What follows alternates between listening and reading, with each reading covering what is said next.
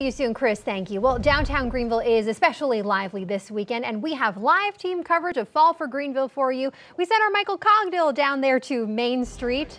Hi there, Michael. You find any snacks yet? Oh, there's a lot of to snack on down here. And You were talking to me about the energy earlier. The energy down here is people are grateful for the energy that you see in the sky right now. The sun is finally out. People are in a great, great mood here. They expect 150,000 people over three days in the street, uh, in this, uh, here along Main Street and in the side streets. We're hearing the music already and look down that street. It's already a sea of humanity and we love to see it here. And people no doubt have some pent up energy because of last year. Take a look at some of the preparations going on. Last year, of course, COVID-19 did stall Fall for Greenville. There was no Fall for Greenville last year. This year, it is a full tilt festival. However, we still, of course, are dealing with COVID cases, and the organizers say if it makes you comfortable, wear a face mask to Fall for Greenville if it makes you comfortable, even if you're vaccinated. Take a listen you're vaccinated, you know, we think that that's great. Uh, wear a mask if that makes you feel comfortable. And, you know, when you are standing in line for ex extended periods of time, hopefully not too long, uh, definitely, you know, bring a mask with you and put that on. So we, we just hope everyone will come out and um, do whatever makes them feel safe.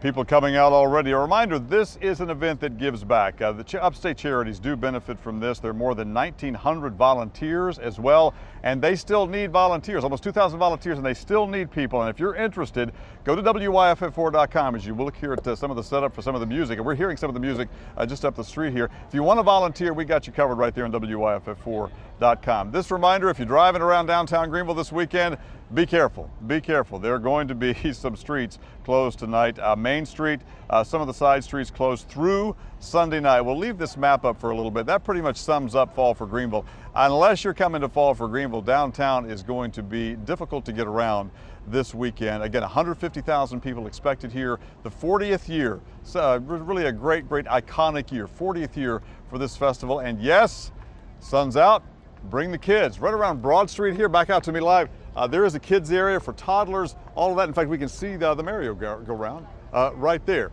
This is a family-friendly festival, of course. Lots of food, 40 restaurants. Again, big crowd already here on Main Street. Gabby, you asked me earlier about the, uh, the mood. The mood is good, especially after 2020 and the pandemic year. Yes, we're still dealing with the virus, but people are taking precautions, and Fall for Greenville is on for its 40th year. Back to you.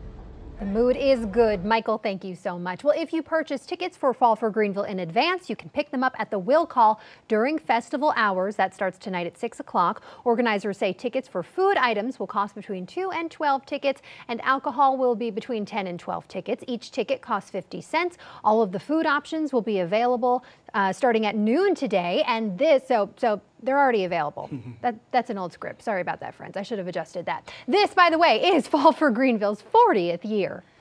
And as you saw there, a huge draw for people is the food with so many talented chefs in the area. So let's continue our live team coverage and send it out to our Renee Wunderlich, who's in the thick of it. Renee. Well, Nigel, I'm here on McBee and Main, and if you take a look behind me, you can see just how popular all those restaurants are. Every tent filled with folks getting their food. And as you might have heard already, we've got 45 different restaurants here at Fall for Greenville, 250 menu items. And let me tell you, it smells amazing. There are also six stages with 78 bands going to play throughout the festival. And now that it's past four o'clock, you've got 50 beer taps and wine vendors here as well. You know, some of these restaurants have been here for several years. 10 years. It's the biggest event for us every year. I mean, we look forward to it. It takes weeks of gearing up and, you know, preparing for it. But I mean, this is the mecca of what we do every year. So we were excited, you know, after last year and having to skip it, we were excited to get back in the swing of things and get out here, get in the streets, talk to the people, and just bring all of our meats back to everybody.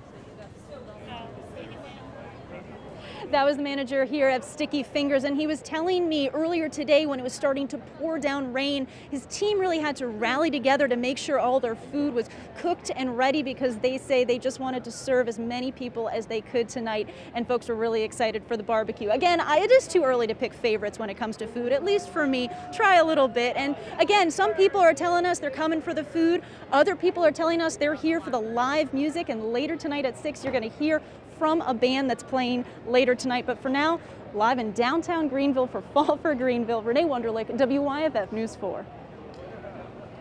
Renee, thank you so much. And remember, you can learn more about Fall for Greenville by heading to WYFF4.com and the WYFF News 4 mobile app.